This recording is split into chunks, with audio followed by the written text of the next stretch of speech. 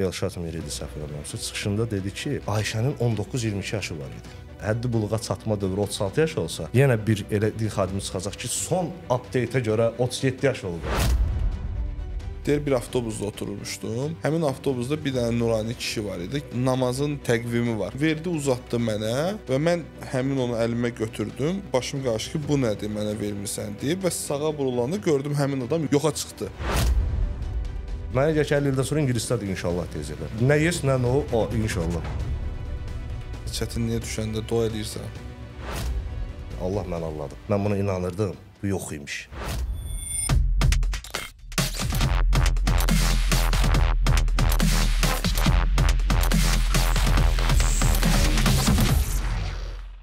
Salam, mən Hüseyn Ağayev üzləşməyə baxırsınız və bugünkü qonağımız ateist. Salam, xoş gəlmisiniz. Salam, Özünüzü xoş təqdim edə bilərsiniz. Fərhad.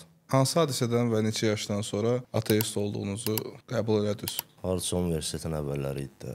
18-19 yaş olardı. Hansı hadisə baş verdi ki, bu qənaətə gəlib çıxa bildiniz? Məncə paralel oldu hər şey. Mən tibbdə oxuyurdum. Ümumi biologiyanı daha dərindən öyrənən vaxtlar, fəlsəfə ilə daha akademik tanış olan vaxtlar, paraleldə də Quran oxuyurdum. Bir də təbii ki, bir ateist dostum, çox radikal ateist dostum. Mən beynim üçün olmazları dilə gətirəndə dedim, "A, belə olurmuş. Belə radikal etiraz eləmək olurmuş." Məncə hamısı bir yerdə məni şey elədi, belə deyək. İnancımı dəyişdi, deyim yoxsa ateist elədi. Biologiya nə qədər o dəyişməyə bizə səbəb, yəni fizika, biologiya, tibbdə oxumusunuz da, bu elm tərəfi sizi nə qədər dəyişməyə vadar elədi? Yəni neçə faiz nisbətən götürsək? Elmin bu inancı dəyişməkdə təsiri mənə görə, yəni bizim coğrafiyadakı dinin iddiasına görədir. Çünki din müasir dövrdə çox vaxt elmi möcüzələrlə insanların üzərinə gəlməyə çalışır. Bu iddia ilə gələndən sonra artıq elmlə tanış olduqca, təqzibi, təzadı gördükcə təsir edir o mənə. Artıq seçim eləməliyəm. Başa düşürəm ki, bu yanlışdır. Yanlışı görürəm, qorxu mane olur ki, onu dilə gətirməyə. O mərhələni də atlayandan sonra kasa elmlə dolduqca çox daha asan olur. Bu proses rahatlaşdırır. Bəs yaxşı o qədər bioloqlar var, hansı ki, fiziklər var, kimyaçılar var, hansı ki, sizdən də qat-qat daha O sahənin içindədirlər, bəli. amma din din inancı var.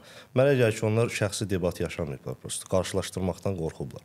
Məsələn, bu mənim işimdir, bu mənim inancımdır. Elə bir ki, qorxublar bunu qarşı-qarşıya gətirsinlər, çünki orada seçim baş verir. Müqayisədən qaçırlar. Qaçırlar, hə.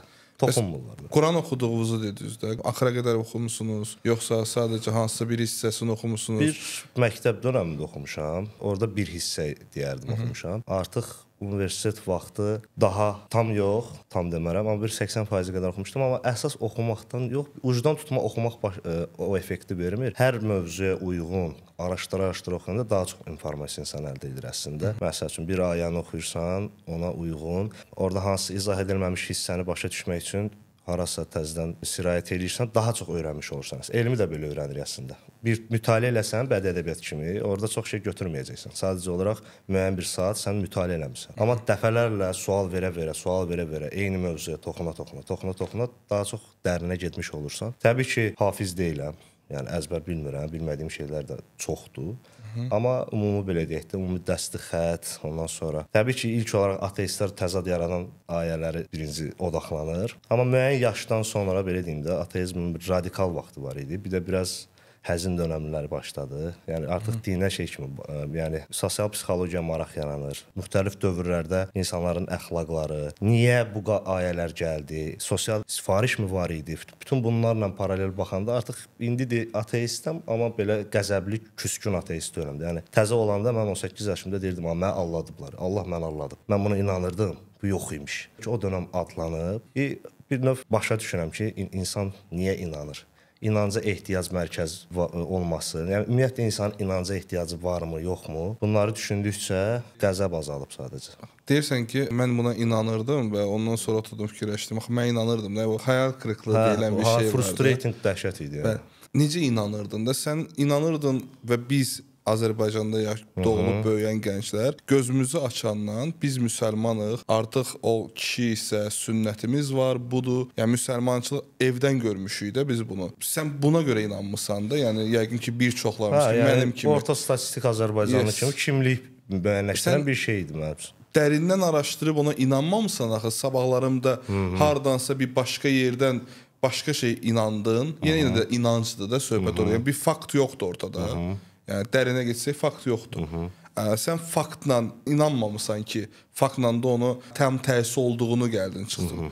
Və necə oldu da yəni bu deyirsən mən inanırdım. Yəni otunu özündə fikirləşmədin ki, mən araşdırıb buna inanmamışdım Hə, öz seçimim yox, belə zavodskoy nastroyka olaraq inanırdım, standart Azərbaycanlı. Düşünürəm ki, hər kəsin beynində öz yəni 8 milyard insan varsa, o qədər də inancı var. Bir özümküləşmiş bir şey var idi. Təbii ki, atamın dediyi var, anamın dediyi var, ailə, ətraf falan və bir özümküləşdirdiyim tərəflər də var idi. Onlar da pis oldu. Və ara- araşdırma nəticəsində elə belə deyək, Quranı oxumaq da orada rol oynadı. Həqiqətən Quran o haqqa gətirdi məni, yəni. Quranın məsələn hamının dediyi bir şey var və bu düz olan bir şey var ki, hər tərcümə edən şəxs başqa-başqa mənalarda, başqa-başqa ayələrdə Ola bilər. tərcümə edə bilər. Vurğunu nəyəsə vura bilər, fikir Yes. yayılırsa. Ola bilər ki, siz oxuduğunuz səhv bir tərcümə olub. Siz araşdırdığınız səhv bir şey olub. Orada doğrudan da məna o olmayıb. Yəni siz həmin vaxtı, həmin o düşüncə ilə, həmin o psixologiya ilə yanaşmanızla səhv oxumusunuz və səhvi oxumusunuz. Yəni tam anlamamısınız deyə buna gəlib çıxmısınız. Elə bir şey mümkündür. Bununla bağlı öz təcrübəmi demək istəyirəm. Bizim evdə üç dildə Quran var idi. Biri Azərbaycan Ziya Bünyadovun tərcüməsi, bir türkcə, bir də rusca tərcümə var idi. Sırf bu şübhəni aradan qaldırmaq üçün belə oxuyurdum. Hər üç dildə oxuyurdum. Fərqi harda hiss elədim? Daha sonralar ingiliscə də baxırdım tərcümələrə. Fərqi bir dənə rus tərcüməsində hiss eləmişdim. Məşhur bir ayədə oranı tərcümə edən həqiqətən özündən artırıb yumşaq tərcümə eləmişdi. Məşhur Nisa surəsinin o 30 yoxsa 34-cü ayəsidir. Arvadı döyməklə bağlı olan ayədə fikir verdim ki, türkcədə, Azərbaycancada, sonra ingiliscədə də baxdım ki, orada əlavə ə, yumşaltma yoxdur. Ruscada slikka izbit sözü var prosta. Amma orada döyün, döyün, döyün, üç dildə də döyün deyib. Yüngül döyün söhbətləri. Bir dənə istədim ki, hə, rus dilində bilmirəm kimin tərcüməsi idi. Bəlkə də Rusiya Federasiyasında qəbul olunmuş tərcümə o deyil. Bəlkə də bir həvəskar tərcüməsidir. Bilmirəm hə. Amma mənə elə gəlir ki, bu tərcümə söhbəti daha çox biraz bəhanədir. Ateist olduqdan sonra hansı özünüzdə dəyişiklikləri hiss elədiniz? Xarakteriniz dəyişdi, insanlara fikirləriniz necə dəyişdi? Tək dini yox da baxımdan. Mərhələli dəyişim oldu deyərdim hətta. Bir məsəl üçün o biri dünyanın yoxluğunu qəbul eləmək başlayır. Mən düşünürdüm ki, məsəl üçün o biri dünya yoxdursa, bunu bəlkə də son 30 30 yaşıma yaxın bunu özüm üçün belə hüzurlu şəkildə qəbul elədim ki, məhv olub gedəcəm də. Mahiyyətim ondan ibarətdir ki, heçdən gəlmişəm, yox olub gedəcəm. Nədirsə budur və bu həyatın qədrini daha çox bilməyə başlayırsan. Başa düşürsən ki, belə cəhənnəm də burdadır, cənnət də burdadır. Təsir edə bilməyəcəyimiz şeylər var. Ya durduq yerə bədbəxt hadisə də gələ bilər. Gözlənti olanda adam daha çox frustratingli olur da belə deyə, məyus olur. Gözləntisiz yaşayanda və hər şey hazır olanda ki, başıma hər şey gələ bilər. Durduq yerə bəxtimi də gətirə bilər. Səbəbsiz yerə başıma faciə də gələ bilər. Buna görə kimsə günahlandırmağım, hansısa qüvvədən nəsə ummağım mənasızdır. Prosta hər şey rahat hazır. Düşünürəm ki, mənim o məhv olma, o bir dünyaya düş, düşməmək ya inanmağım mənə daha hüzur eləyir. Daha hüzur eləyir. Mən də gərgin olmuram, bunu belə eləyim ki, cənnətə düşəcəm, bunu belə. Rahatam, vicdanım mənə imkan verənləri edirəm, vicdanım imkan verməyənlər də düşünürəm ki, bunun üçün bəzi bir çox insanlar artıq din sisteminə ehtiyac yoxdur. Vicdan formalaşandan sonra belə qorxu və baskı ilə ola bilər mənim bir dindar dostum var deyir ki, yox sənə lazımdır, amma kütləni idarə etmək üçün lazımdır. Bir insan oğurluq eləməməyinə hüquq mühafizə orqanları həmişə nəzarət edə bilməz. Bunu elə qorxu ilə şey. Ola bilər. Daxilində bir şey yaratmasan Dem, da hə, orada da məndə sual yarandı ki, Allaha inanan insan özündə vicdan inkişaf etdirməyə ehtiyacı yoxdur. Bir növ Allahın varlığına inanam, onu vicdansız elə. Yəni mən bunu eləmirəm çünki ondan qorxuram. Amma sən biləndə ki, o yoxdur, sən saxlayan nəsə varsa, deməli sən yuxarıdakı inandığın varlığı öldürəndə içində bir səni stoplayan bir şey yaranır ki, biz ona vicdan deyirik. Artıq mən vicdanla onu qarşı-qarşıya qoyuram. Ya vicdan, ya Allah. İstəyərdin o birisi dünya olsun. O niyə istəməz? Mükafatı olsun, yəni Ha, ya da olsun. İstəyərdim. cəzası olsun. İstəyərdim. Cəzası da odaqlanmamışam. Mükafatın olmasını Niyə istəyərdim. cəzasını olmasın? O da olsun, problem deyil. Es, hər şey yaxşı vicdandır. Halal haram məsələsi var. Karma var da, yəni yenə də ortada. Tək vicdan deyil axı bu ortada. Yəni bütün hər şeyi vicdanla idarə edə bilirsən. Yəni mən vicdanım buna yol vermir, mən bunu edirəm. Demək Mən, istəyirsiniz ki, biz arada bir bəzən beyin qarışıqlığı olmur ki, yəni okey də vicdan yaddan çıxmır. hər şey vicdanlımı deyəndə mənim ağlıma şey gəldi. Məsələn, biz bəzən yaxşılıq edirik ki, umaq. Hı. Məsəl üçün bu. Aha. Bu da bizim keyfiyyətlərdən biridir də. Təbii ki, hər şey vicdandır. Vicdan öz sahəsi var, təsir elədiyi. Amma insanlar kommunadır, ya bir-biri ilə ünsiyyətdədir. Kimsə nəsə gözləyir, eləyir, kimsə umur eləyir, kimsə çəkinir, eləmir ki, mən bu e, camiədən qovacaqlar. Heç o bir dünyaya ehtiyac yoxdur. Biz burada elə şey eləyə bilərik ki, yəni biz buradan O ortamdan da çıxa bilər. Hə, yəni sağ qalma instinkti bizə imkan vermir ki, biz axı ə, qəbilə heyvanıyıq belə deyək. Tayfa heyvanıyıq da, təşkilləşən heyvanlardan deyilik. Bizim üçün tayfadan kənara qalmaq ölüm qorxusudur. Ona bərabər bir şeydir. Mən sağ qala bilməyəcəm. Ona görə ümumi qəbul olunmuş əxlaq normalarını hamı çalışır göz gözləsin. Burada indi Allah bəlkə də əvvəldə lazım idi ki, bu əxlaq normalarını necəsə bərkidək. Elə bilirəm ki, indən sonra ehtiyac yoxdur. İnsanlar özləri artıq hər şeyi həll edir. Nə səbəb Konstitusiya yazırlar, insan hüquqlarının Başa bərabərliyi. o vaxt niyə yaza bilmirdilər, indi yazırlar. Yəqin ki, açıq sualdır. Mənim bilgim yoxdur. Zaman maşınına ehtiyacım var. O ki, vaxt qayıdım, insan baxım. insan olub da, yəni də insanın Mənə elə gəlir ki, hər şey asayiş indi məsələn din mərhələləri var da, inanc olaraq yaranır. Ondan sonra bu asayişi qoruyan bir mex- mexanizmə və güc mənbəyinə çevrilir. Amma ona qədər mənə elə gəlir ki, insan beyni belə təkamül nəticəsində o yerə gəlib çıxıb ki, niyə sualını həmişə verir ki, getdi, ay yağış yağdı, nə bilim, ov yarımçıq qaldı. Bu niyə oldu? Əgər onun bilgiləri kifayət edirsə, buna məntiqi cavab tapsın, tapır. Tapa bilməyən də o niyə e, sualını yaradan o mərkəz ona dinclik vermir. Və başlayır fantastlar uydurmağa ki, bax bax bax buna görə oldu. Mən belə deyim də, bir dənə misal üzərindən desəm bəlkə daha aydın olar. Təsəvvürünüzə gətirin eramızdan əvvəl 1000-ci ildəyik. Yağış yağır bərk. Dalınca gün çıxır, isti olur, çox isti olur. Məsələn, yağış yağmasaydı, prosta gün çıxsaydı, bu qədər isti olmazdı. Məsələn, o dövrdəki insan araşdırma o qədər yox idi. Hə, yoxdur da. Bilmir ki, rütubət var burada. Mayedir, qalxdı, havanın istilik keçiriciliyi artdı falan falan. Bu bilgilər yoxdur. Amma insanlaşdırıb, hansısa bir obrazlaşdırıb, bax yağış Allahı gəlir. Günəş Allahı həmişə onun dalınca düşür. Yəni bir tayfada kiməsə oxşadacaqlar, hansısa tayfa başçısı ilə kimisə münasibətini. Deyəcəklər bu, ər-arvadlar həmişə bu da bunun dalınca gəlir. Və yaxud hansı iki düşmən tərəfi göstərəcəklər. Bunlar bir-birindən rəqib Allahlardır. Bu gələndə bu da onun dalınca lap qəzəbli gəlir deyə ona görə Mifologiyası.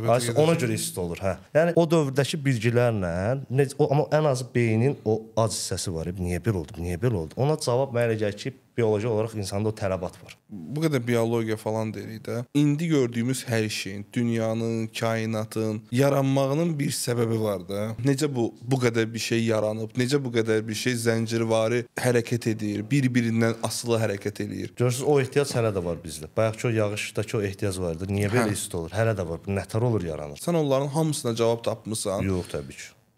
Əgər bəs tapmamısansa, bunun bir yaradanı, bunun bir necəsə bu strukturu quran, zənciri quranın biri olduğunu necə inkar eləyirsən? Əgər bütün suallara cavab tapmamısansa ki, uşaq necə bir molekuldan əmələ gəlir, necə bunların hamısı baş verir, niyə o yağış yağır, yağış ümumiyyətlə su necə yağışdan, yəni bioloji sübut olunmayan nə qədər şeylər var da dünyada ki, hələ ki sübut olunmayıb bunların hamısı. Və necə bunların hamısı baş verir deyə hər şeyin cavabını tapmamısansa və eyni zamanda da yaradanın, yaradıcı bir qüvvəni inkar eləyirsən də, necə baş verir bu? Axı bütün suallara cavab yoxdur ortada. Necə Allahı da inkar eləyirsən əgər bir, bir şeylərin cavabını tapmamısansa? Suala axırdan cavab başlayım. Allahı inkar etməyimin səbəbi suallara cavab tapmamağım deyil təkcə bir. İkincisi də ki, o bayaqki məsələ var. E, beynimiz hələ də axtarır necə olur bu? Cavab istəyirik. Prosta Allah ideyası elə bir alternativdir ki, bu suallara elə cavabdır ki, həm beynimiz sakitləşir ki, var yaradan. Axtarışı buraxırıq. Burada ziyan mən düşünürəm ki, bu məqamda bir axtarışda olan adamın, bu alim də ola bilər, e, Sıravi vətəndaş da olur. vətəndaş da ola bilər, fəlsəfi axtarışda olan bir adam da ola bilər. Bəri başdan o alternativ, konservativ cavabı ora qoyanda axtarışına ki, işıq salmır da, kölgələyir. Kəpsədə burada var da, daşı getməyin. Mən belə düşünürəm ki, bu bir axtarışda olan adam üçün həm tormozlayıcı bir faktordur. İkincisi də ki, əgər mən bilirəm ki, məsələn, bu gün mən istifadə elədiyim mənim texnika olsun və bildiyim bəzi bilgilər olsun ki, 100 il əvvəl heç ağıllarına gəlməzdi. Bu gün artıq var. Biraz səbirli olmaq lazımdır. 50 ildən sonra o qədər şeylər öyrəniləcək o qədər şeylər açılacaq ki, indidən aclığı o alternativ cavabla susturmaq istəmirəm. Ki, var vəsə, dincəlim. Niyə sadəcə də yəni, qəbullanıb sadəcə onu şey eləmirsən ki, yəni okey də bu qədər bir şey baş verirsə, zəncirvari hadisələr və bunlar varsa, dini qəbul eləmə. Amma Allahın olmağını niyə inkar eləyirsən ki? Bir, yəni sadəcə ürəyində bir rahatçılıq tapmarsan ki, hə, bunu yaradan, bunun səbəbkarı var ki, bu qədər bir şeylər. Yəni adi biz mən nə ilə müqayisə edirəm? Yəni Biz hətta özümüz öz həyatımızda bir şeyi rutin eləməyə də bilirik də. Yəni 24 saat cəmi vaxtımız var, həmin günün rutini. Ki mən burdan bu gün çıxmalıyam bura, burdan bura və planım var. Həmin gün üçün planım var. Sən hətta onu belə eləyə bilmirsən də. Bir də 90% o alınmır. Bəli. Ya nəsə bir səbəb baş verir, ya öz tənbəlliyindən bir şey eləmirsən və ya elədiyin hallar çox az olur. Yəni ki, hamı məndən razılaşar. Amma bu qədər bir şeyin eyni getməsi və zəncirin heç vaxt qırılmaması söhbətini yaradan və səbəbi olan bir şeyi sadəcə ürəyində, yenə deyirəm, bu dinə aid deyil. Sadəcə Allahdan danışırıq da. Qəbul edib bu şuursuz bir Allah da ola bilər, yəni. rahatçılıq tapmırsan ki, ya da bu qədər səbəb var da, okey, Allah var, amma din yoxdur. Hə, din inanmırsan. Sadəcə sila, power, Hə, hansısa bir power var. hə, güc var ki, bunu saxlayır da. Bu maqnit ola bilər, bu nəsə bir şey ola bilər ki, kainat belə dövr yəni. Tək bizim dünyada deyil, bizim dünya kainata ümumiyyətlə yəni baxsaq, galaktikaya baxsaq heç nə idi biz. Bu qədər şeyin prosesi var da, gedən rutini var. Bir qüvvəyə inanmamaq. Mən məsəl üçün stoisizm fəlsəfəsində də bu var. Nəyə ki, məsəl üçün təsir eləyə bilmirsən, orada çox qalma. Yəni ora odaqlanma. Təsir edə bilmir. Sən qəbullan, sən hardasan, orada yaşa. Bir növ bugünkü o coachlar deyir, bu gün indi burada ol trendi var ha. Bir növ ona oxşur. Enerjimi mən səpələmiş olacam ki, mən inanım ki, orada o var, bu var. Mən hal-hazırda burdayam. Mən varam. Burada hansı o yaradıcı qüvvədən maraqlı o qədər şey var ki. Burada 60-70 il ömrüm var da.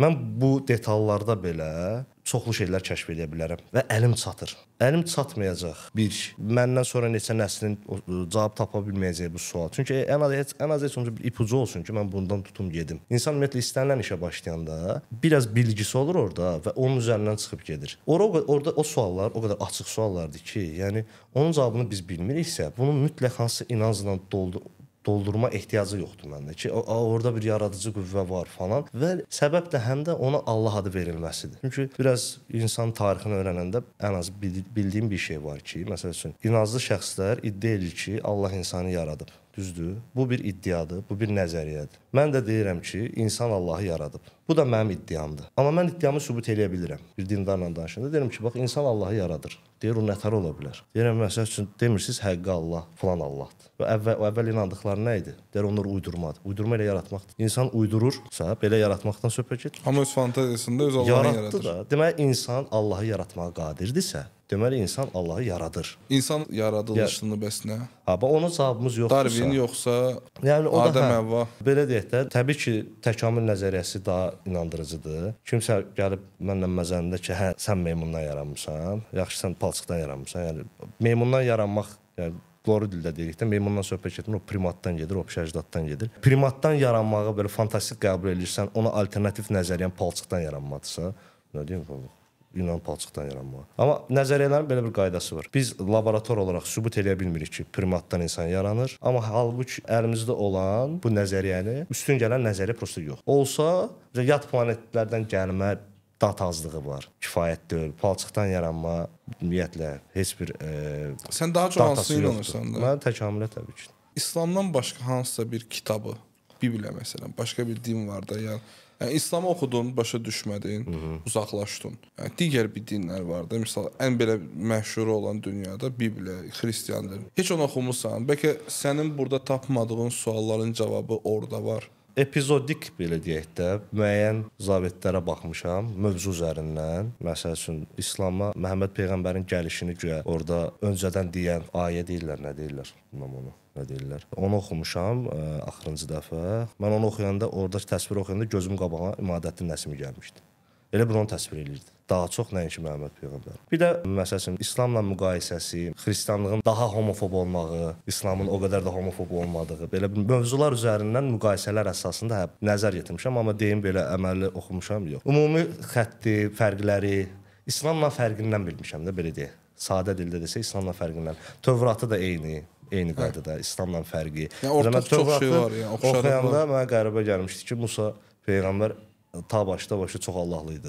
Bunlar 800 il demirdilər ki, Allah bir dənədir. Deyirdilər ki, bizimki Yahvədir. Yəni Yahvə bizimki. O birlər var, bizimki Yahvədir. Çünki hələ monoteizm ənənəsi yaramayıb deyə çoxallaqlıq kimi başlayıb. Yəqin bilirsiniz də, ümumiyyətlə bu İbrahim Allahıdır, Məhəmməd peyğəmbərin Allahıdır. Hamısı Mesopotamiya Allahıdır, Yahova. Orada xarabalığa qalmış bir Yahvə, xarabalığa qalmış bir şəhərin, orada hər şəhərin bir tanrısı var idi də. O şəhər şəhər dövlətlər dövründə. Musa o, o şəhərsiz qalmış Allahı özü ilə götürür, o inazı gedir Misrə, öz həm yerlərini azad edir ki, bizim Allahımız var, bizə şəhər vəd edib, Kakraz o da şəhərsiz qalıb. Biz ona inanacağıq, o da bizə şəhər verəcək. Şimdi bütün bu Qüds hekayəsinin belə deyək də əsası. Yaxşı, Məhəmməd peyğəmbər bu qədər şeylər oxumusan, Quran oxumusan da.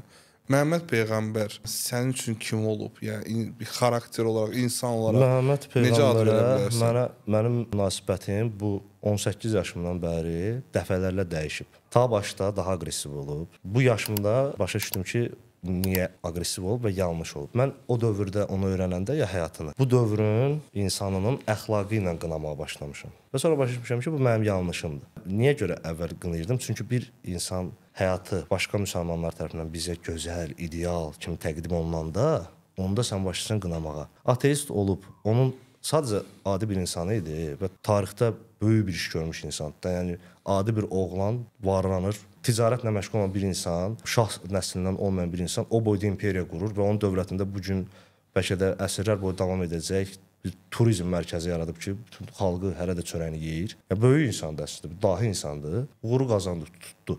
Bəxti də gətirdi. Onunla paralel başqaları da başlamışdı. Onlar da alınmadı bundan da, amma məqamında yerində müəyyən qərarlar verməklə nəticə odur ki, böyük bir iş gör, böyük bir tarixi şəxsiyyət. Dövlət qurub da, o boyda dövlət qurub. Yəni Çingiz xan olsun, Teymurlan, onlarla eyni pilləyə qoyuram ki, bu adam bu boyda şey yaradıbdı. Yəni pozitiv yanaşırsan. Hə, ins çünki bax, mən ona bir şah kimi baxıram da, padşah kimi. Hı -hı. Bir xəlifə kimi baxıram və elə qiymətləndirirəm. Mükəmməl insan iddiasında qoysalar qabağıma. Məsələn mən deyirəm ki, Atilla dünyanı belə fəth elədi, belə elə, amma bir insan kimi qəddar idi, dağıdırdı aləmi, məhv edirdi qabağına çıxmağa. Baxır necə onu qiymətləndirsən.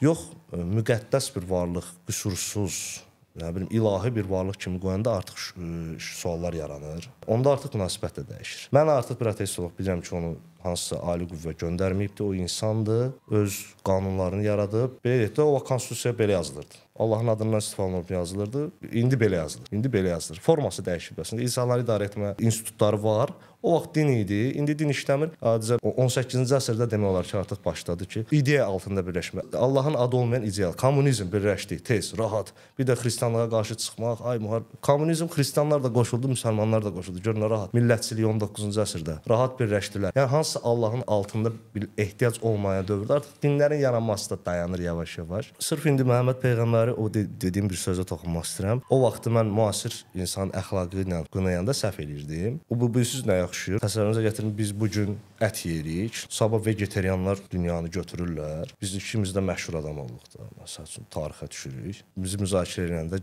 o dövrün nə bilim x kvadrat z nəsli o da olacaqsa adı. Baxır deyir ki, bunu biri olub. Ət yeyirdilər şərəfsiz. Gələcəyin əxlaqı ilə bizi şey eləyəcəklər. Qınayacaqlar ki, bunlar bunu nə sözlə baxsan ki, bu ət yeyən olub və yaxud 9 yaşlı qızla evlənib. İndinin əxlaqı ilə o, o vaxtı qınayırıq da. Hə. Və mən düşünürəm ki, bu biraz ədalətsizdir. Sırf bu ateistlərin çoxsunun və yeni başlayan dövrdə məndə də var idi. Aqressiya. Aqressiv Məhəmməd peyğəmbəri bu günün əxlaqı ilə qınamaq və hətta bu bilirsiniz nəyə gətirib çıxardı? Bu yaxınlarda Facebookda daha bir podkast gördüm. Orda Elşad Mir idi səhv eləmirəmsə, çıxışında dedi ki, artıq İslam alimləri o qənaətə gəliblər ki, Ayşənin 19-22 yaşı var idi. Bu bilirsiniz nəyə oxşuyur? İnsanların eşitmək istədiyini demək üçün yalana ya özü də ona inanır, qınamayım da, bəlkə özü də özü bəlkə aldatılıb, o da ola bilər. Və bunu belə o biz danışanda deyirik, İsveç alimləri belə düşünübsə. Bu xüsusilə vurğulamaq ki, İslam alim, hansı alimlər falan da bu. Bir var səhih hədis var ki, Ayşə özü deyir ki, belə olub da. Onu qoyub kənara İslam alimləri bu nə bilirsiniz nədir? Müasir əxlaqa uyğunlaşdırırlar ki, insanlar o şeyi yaşamasınlar, o təzad, nə danışırsan. Biraz suallarını o... sualları susdur, elə bir su səpir də ki, narahat olmayın, 19 yaşı vardı. Bu gün yaxşı hər şey görüntü alınır da. Sabah əgər həddi buluğa çatma dövrü 36 yaş olsa, yenə bir elə din xadimi çıxacaq ki, son update-ə görə 37 yaş olub onu. Yəni müasir əxlaqla uyuşturmağa çalışa-çalışıb sağ saxlamaq qaçmasınlar deyə. Hə də hə qorxub qaçmasınlar da. Nə qədər bacaracaqlar, tabii bilmirəm. Bir dənə sual verim, amma səmimi cavab ver. Hı -hı. Hə, dara düşəndə, çətinliyə düşəndə dua eləyirsən? Qətiyyən. Düşmüşəm də. Yaxşı, başqa bir alternativin verim. Hansısa bir məclisə gedəndə, yəni kimisə rəhmətə gedən vaxtına gedəndə, salavat çevirəndə hamı ilə eyni vaxtda salavat yox, çevirirsən. Yox. Əlim aşağı duram, hamı da onu bilir yəni. Hamı bilir. Hamı bilir. İctimai qınaq. Ki filan kəs mənə ölümə salavat çevirmədi. Olmayıb. 18 il sən buna Bir inanmısan da. Yox, bu bir uşaqlıq bir rutin var da ki, deyim- dara düşəndə ə, dua eləyirik də. Allah sən özün kömək ol. Ən belə qısa bir şey də inşallah. Və yaxud da ki, bir şey olacaq. Gəl sabahlarım gedərik. O dildə rutin qalır axı, yəni İnşallah. inşallah. inşallah mən fikrimi deyəcəm. Aha, bismillah, inşallah, o- 19 elhamdülillah. yaşımdan bəri o radikal dövrlərdə mən nə edirdim. Onu da sonra düşündüm ki, mənasız bir şeydir. Bu belə deyək də, bu özü bir idealist davranışdır. Hamı ilə görüşəndə salam deyirlər, necəsən deyirdim. Nətər alternativ işlədirdim də ki, o onu işlətmirəm. Sonra başa düşdüm ki, biraz da genişləndim ki, biz azlar deyirik, zəhrimar deyirik. Hamısı tanrıların adlarıdır. Dedim, okey. Mən, mən mənim qədər bu dəqiqə inşallah sözünü işlədən yoxdur. Rahat da işlədirəm. Nə olsun ki, bu etimoloji olaraq burdan gəlib. Bunun artıq bir mənası var və inşallah sözü elə unikal sözdür ki, Gələcəyə bir pozitiv. cavabı yoxdur. Yəni çox viral sözdür. Mənə gəlir ki, 50 ildən sonra ingilislər də inşallah deyəcəklər. Nə yes, nə no, o inşallah. Alternativ yoxdur və ideal bir sözdür. Mən Heç rahat işlədirəm. cavab verə bilmir. Bəli, bəli. Bir başa düşmürsən, hə dedi, yox dedi, alınmadısa mənlikdir. Yəni çox gözəl sözdür. Dəqiq şey deyil. Məsləhət görürəm hamı istifadə eləsin, bütün ateistlər rahat istifadə eləsin. Yəni dinimizdə onsuz da o qədər söz var ki, hamısı köhnə tanrıların adlarıdır. Rahat olun. Hansı hadisə baş versə, dinə yenidən inanarsan. Tam göydən düşür Allah yerə belə mənim qabağıma. Onda bir dənə sual verəcəm. Deyir ki, mən Allaham dedim. Sən 100% o kitabı sən yazmısan. Hər şey oradakı kimi. Desə hə deyəcəm, hə yaxşı. Keçib o tərəfdə oturacam. Yəni ola bilər ki, sən güclü varlıqsan, yad planetlisən. Amma mən səndən razı deyiləm. Amma hansı bir möcüzə, yəni Hə, möcüzə o deyil. güclüsən də. məndən. Mən belə elib öldürə də bilərsən. Aha. Mən sağ qalmaq xatirinə görsəm ki, insanam da sağ qalmaq istəyirəm. Yalandan deyərəm ki, Real hə, həyat deyən möcüzələrindən danışaq da. O ki, kimisə yerə düşmək yox. Yenə deyirəm, öz həyatımdan.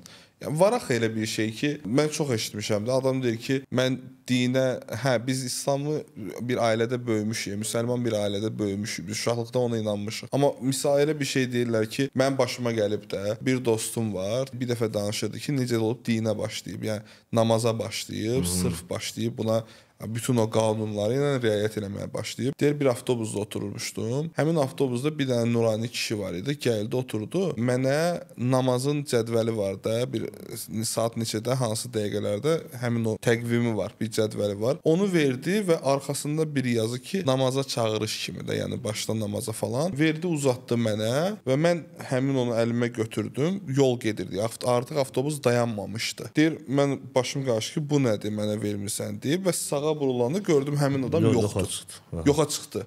Amma doğrudan da fiziki bir şey qaldı mənim əlimdə.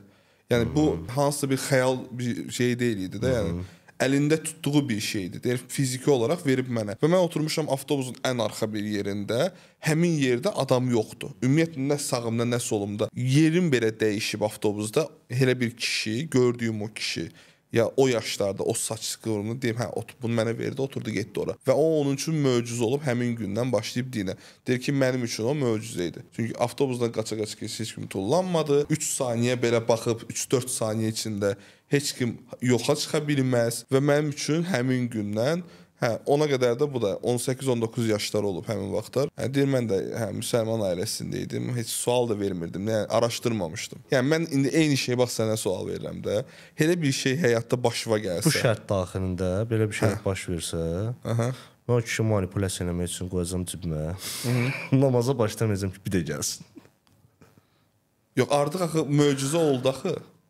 Yəni mən Bir möcüzə oldu. Yəni mən belə düşünərəm də. Belə bir şey olsa, Mən həmin adama inanıram. Yəni mənə danışan o adama Mən- mən şəxsən tam səmimi inanıram ki, yəni o mənə o söhbətdə yalan danışmaz. belə e, belə deyim də, mən özüm elə şey görsəydim, özümə inanmazdım, gözlərimə inanmazdım yəqin ki. Qalutsinogen bir şey görmüşəm. Məndə Qalutsinogen bir şey axı real ola bilməz. Əlində o təqvimi tuta bilməzsən, axı o kağızı sən heç kim verə bilməz. Qalusinasiya odur ki, yəni qalutsin yəni sadəcə gözünün qabağında bir at qaçdı. Hə, okey, amma at sənə vurmadı, sən yıxılmadın. Bəlkə yaxud- kağızı başqa adam verdi. Yoxdur axı yanında adam. Ümumiyyətlə yanında adam yoxdur və 3-4 saniyə adam buxarlana bilməz axı. Necə oldu ki, o kağız ona fiziki bir məhsul buna verildi. Yəni toxuna biləcəyi bir məhsul və bu əlində qaldı. Hə, qalüsinasiya ilə sən əlində bir şeyi canlandıra da bilərsən. Ki canlandırdım, təqvim gö- gördüm, amma əlim doğrudan da heç nə tutmayıb. Ümumiyyətlə olmayıb. je- amma bu bunu cibinə qoyub indiyə qədər də həmin o təqvim yadigar kimi bir şey kimi onu saxlayır. Və buna verib, düşüb, qaçan heç kim 3-4 saniyə içində olmadı. Necə oldu?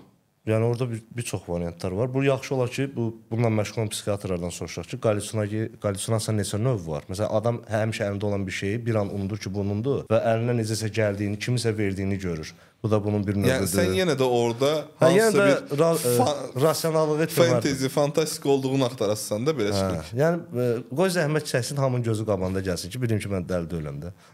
qoy hamı görsün ki, Fərhad o sənə verdi. Axirət yoxdursa öldükdən sonra nə olur? Reinkarnasiya ya bənzər bir şeylər, nəyə inanırsan? Buna inanma ehtiyacının belə deyək, evolyusiyası ilə maraqlanmışam. Ümumiyyətlə sağ qalma instinkti də, yəni ki, eşitmisiniz, bilirsiniz, bu canlılarda var, insanda da var. Lap götürən mağara dövrünü insan sağ qalmaq üçün əlləşir də. Yanandığı gündən ayaq üstə dura bildiyi andan sağ qalmaq instinkti ilə doğulur da belə deyək. Vaxtı vaxtında yerirsə, ovu uğurlu olursa, xəstəlikdən uzaq qalırsa, bəxti gətirirsə mağara dövründə 30 yaşını görür. O zaman keçiddə görürlər ki, indi daha insan həyatı komfortlaşır. 30-u da keçirlər, 50-yə çatırlar, 60-a çatırlar. Sonda dərk edirlər ki, nə olur olmasın, ölüm qaçılmazdır. Amma bu sağalma instinkti bizi tərk eləmir də. Bu var. Və bu sağalma instinkti formasını dəyişir əbədi həyat instinktinə. Biz ölmək istəmirik ümumiyyətlə. Yəni belə olmur da ki, 60, "Vsyo, hazıram." Olmur. Bu bizi heç vaxt tərk eləmir deyə. Bu suala necə cavab verə? Bu huzursuzluğu necə götürə bilər insan? Əbədi həyat ideyası yaranır. Əbədi həyatında bu formalar, bu dediyiniz reinkarnasiya, o biri dünya ki, hər şey yaxşı olacaq. Yəni dərd eləmə. İnsan o huzuru axtara-axtara cavabı bunda tapır ki, hə bundan sonra da var. Hə, hətta bundan sonra daha yaxşı olacaq. Və Hinduslarda bir də gələcəksən ikinci dəfə. Özünə bir şey verir də, bir Hə, mission təsəlli verir təsəlli ki- verir ki, hə. Hə, mənim də cavabım odur ki, tutalım indi reinkarnasiya lap var olsa, mənim kimliyim mənim yaddaşımdır. Yəni məni Fərhad eləyən bu yaşa qədər, bu 35 yaşa qədər yaşadığı yaşantı, ətrafı, dostları, dünyası, gördüyü Azərbaycanı gördüyü bucağı, bu mənim dünyamdır. Mən öləndə bu aspektdən, bu kameradan bir dünya öləcək. Mən, mən yox idim, yox Yenidən idi. sıfırdan yarandı. yaranırsa onun nə mənası? Hə, sən yaransız olmayasın. o mən deyiləm. Başqa hətta, biri olsun. hətta mən bir qəza keçirib bütün yaddaşımı itirsəm, uj- o Fərhad ölür. Fərhadın bədənində sıfırdan onun cismində Cismi sən sən o mənə görə elə bir şey daha biraz materialist yanaşıram da, rəqəm kimi baxıram bu işə. Bir datan var, o silinir O data silindisə, şu Fərhad öldü. Fərhad Fərhad O elə kompüter yeni bir kompüterdir Məsələn, mənim bədənim gedə bilər. Mənim beynimi götürüb yaza bilərlər kompüterə. Fərhad hələ də yaşayacaq. Əgər o orada emosiyalar məsələsi də var da, hissləri də ötürə bilsələr, Fərhad yaşayır. Və ya bir robota keçirsələr və ya klonlaşdırsalar məni, mən hə əbədi yaşayacağam. Amma bu bədəndə bu görüntü ilə hamının Fərhad dediyi adam birdən-birə bütün data silindisə, Fərhad orada öldü. O bir adamlar bəlkə e, şey rahat olacaqlar ki, bizim nə bilim oğlumuzdur, nə bilim dostumdur, sağdır, yanımdadır, amma ağzına açır danışır görsən ki, o deyil. Hə, reinkarnasiya olsa nə mənası Hə, var? nə da mənası var da? Mən lap tutan bundan əvvəl olub, yəni heç yadımda deyil. Sən onu bilmirsən. Artıq o mənə. Yəni heç sən deyirsən ki, əbədi yuxudur da sadəcə bu. Ömrü yatırsan. Yəni ya, yuxu yuxuda beynin funksiyasıdır da, beyin dayandı, yuxu da dayanır. O klinik ölüm vaxtı tunel görürük ya hamımız. O beynin müəyyən ocaqları ilə oyaqdı axı. Onlar da söndü, elektrik impulsları ötürülmürsə, Sıfır. Qaranlıq pərdə, qaranlıq. Yəni, Ümumiyyətlə heç mən dərk eləməyəcəm ki, mən doğuldum, mən yaşadım və mən öldüm. Çünki bu informasiyanı, bu dər bu dərki eləyən orqan ucu işləmir. Yəni mən dərk eləməyəcəm ki, mən nə vaxtsa mövcud olmuşam və ölmüşəm.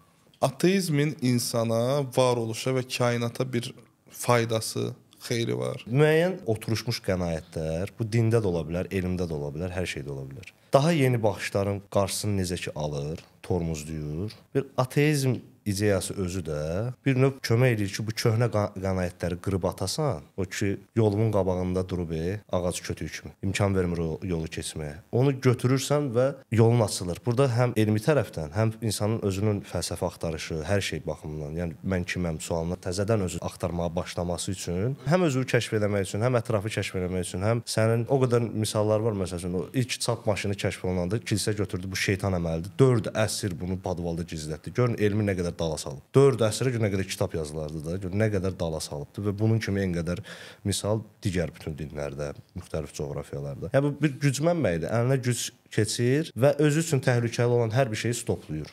Nə bilim hansısa alimi kafir adı ilə yandıracaq, kimisə nə bilim ifrit adı ilə asacaq. Belə-belə əməlli bir ətalət yaradır. Konservativləşmiş qənaətlər. Bunlardan da biri və ən önəmlisi, ən geniş yayılmışı dindir.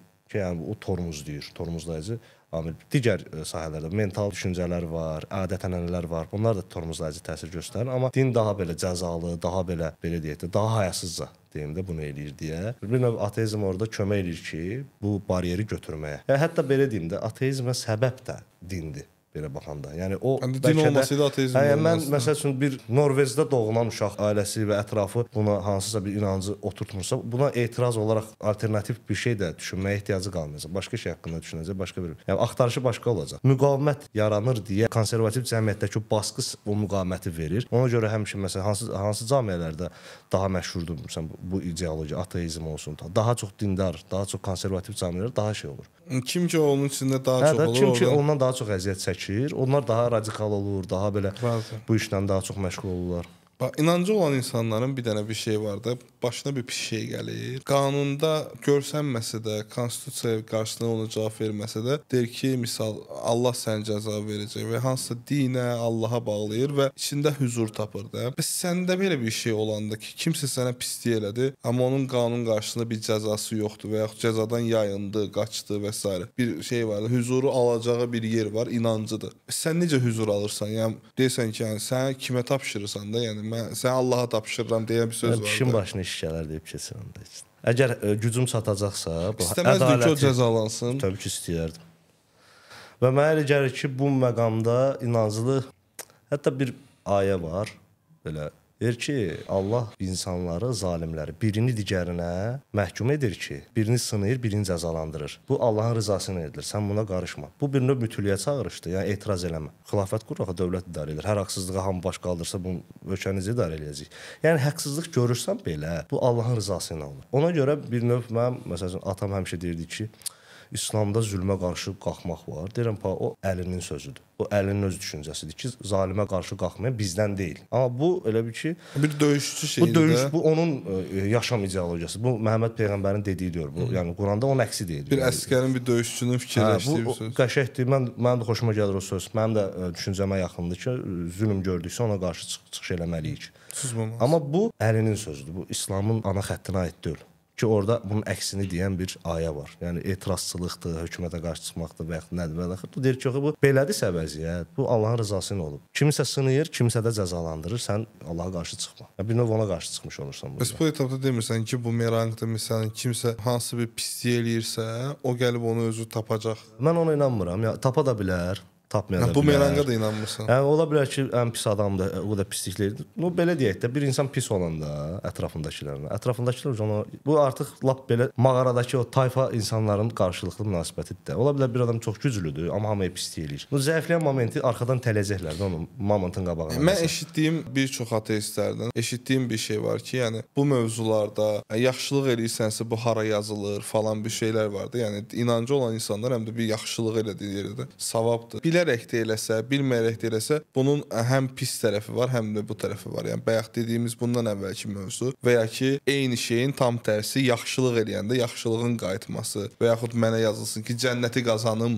deyə bir şey var. Bu momentdə məsəl 90% dediyim ateistlərin inandığı bir şeydir ki, bumeranqdır. Yəni bu enerjiyə inanır da. Mən bumeranqı atıramsa, yaxşı atsam yaxşı qayıdacaq. Pis atsa, kimsə pis atsa mənə qarşılıq ki, Allaha tapşırıram əvəzinə, yəni bumeranqa tapşırır ki, yəni sən nə vaxtsa Qayıdacaq o bir qayıdıb səni tutacaq da. Yəni Hə. belə bir şey də var da həyatda. Yəni çox pislik eləyən insanların o özündən şey yığır da, neqativ enerjini də yığır da həm də bir tərəfdən ki, hə, ya ondan, ya ailəsindən elə bir şey başına gəlir, Hə. başqa cür cəzalanır. Aha.